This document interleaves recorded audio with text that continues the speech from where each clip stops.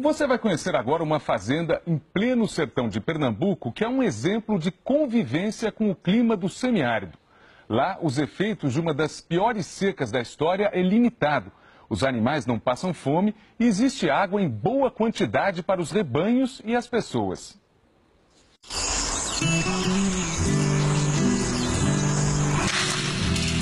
Vida e morte. No sertão devastado pela estiagem mais severa em décadas, a água determina a sobrevivência dos bichos, das plantas e o sofrimento dos homens. Nas comunidades rurais, o latão vira banco nas carroças puxadas pelos animais. A água é escassa e são necessárias várias viagens por dia para suprir a necessidade das famílias. Mas no sertão do Pajeú, um rastro verde corta a paisagem esturricada pelo sol. Lá embaixo está o leito do riacho Carapuça, que corre nos tempos de chuva.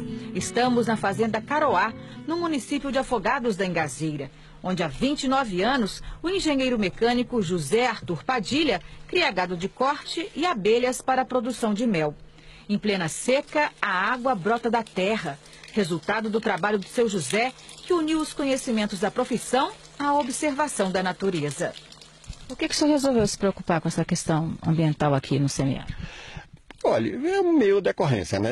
Primeiro eu nasci no semiárido, né? E, e essa questão do semiárido, por alguma razão, talvez até esquisita, a gente se apaixona. Eu posso me considerar uma pessoa que emotivamente estou muito ligado ao semiárido.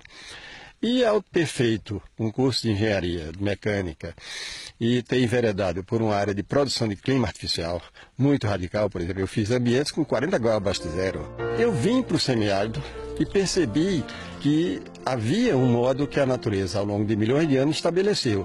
E o que cabia era somente observar bem direito. O que o seu José fez foi construir ao longo do rio que corta a propriedade pequenas barragens. Note que elas são curvadas, como meia-lua. Ao todo, são 350. O conceito das barragens é muito simples. Em todo o leito do rio, da nascente até a foz, são construídos diques de pedra de margem a margem. São arcos posicionados de modo que a parte côncava fique virada para a foz do rio. Na época da chuva, a água e o solo das encostas descem e ficam represados. A água acaba se infiltrando no solo e se armazena no lençol freático. Na época da seca, o subsolo está cheio de água. Para captá-la, é preciso construir unidades de armazenamento como essa cacimba de pedra. De cada cacimba saem os canos que levam a água para toda a fazenda. O sistema funciona por gravidade. A pressão é tanta que a água aflora com força. A estrutura artesanal se mantém através da pressão exercida pelo próprio material. E, além de tudo, não precisa escavar fundações. E isso tem uma função formidável do ponto de vista da funcionalidade, porque mantém a estrutura trabalhando com pressão pura, porém com permeabilidade e flexibilidade o que faz com que haja uma drenagem, e havendo a drenagem natural e memorial, durante milhões de anos a natureza operou desse modo, não saliniza o solo. A cada momento o solo fica mais limpo de sais, mais doce, se é que se poderia dizer. A imagem é impressionante. Tudo está muito seco aqui ao redor. E no meio do nada, a gente encontra uma torneira. E é só abrir para ver a água jorrar com muita pressão. A fazenda tem 22 quilômetros de tubulação enterrada no subsolo que abastecem 100 bebedouros e 5 casas. As barragens impedem que a camada fértil do solo seja levada pelas enxurradas e promove a regeneração do terreno, além de guardar a água infiltrada no subsolo. O resultado é que não falta alimento para os animais nas áreas úmidas. O gado encontra capim ao longo das barragens. Até as abelhas que sumiram do semiárido podem ser vistas aqui, abastecidas pelos bebedouros.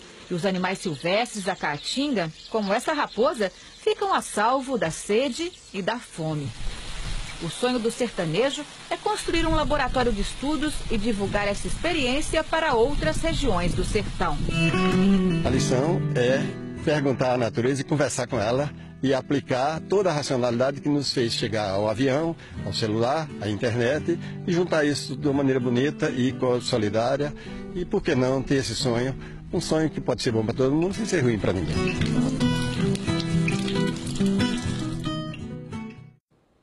Esse sistema que vimos na reportagem funciona bem para as condições da fazenda e, claro, pode ser estendido para várias outras regiões do Nordeste. Mas é preciso lembrar que existem outras técnicas de armazenamento de água para a realidade nordestina. O importante é tornar todas essas tecnologias acessíveis às famílias do sertão.